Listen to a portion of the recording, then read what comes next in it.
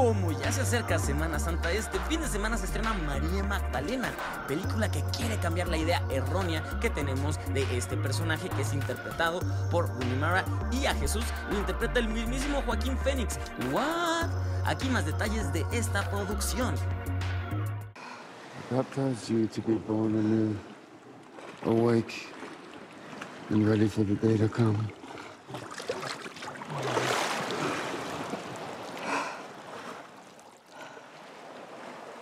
It's a story that we're very familiar with, or at, le- at least we think that we're familiar with, because we've seen so many different incarnations of um, different points of Jesus' life and his story. But this is certainly the first time that that story has been shown through the lens of a female. Um, and th- there's never been a story about Mary Magdalene, obviously, but even more to that is just that we're seeing Jesus' life through her eyes and through her experience. And that's quite different than anything we've seen before.